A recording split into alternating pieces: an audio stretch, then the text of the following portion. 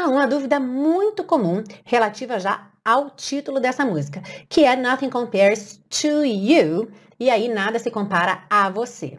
Algumas pessoas ficam se perguntando: será que também existe compare with, comparar com, ou será que não?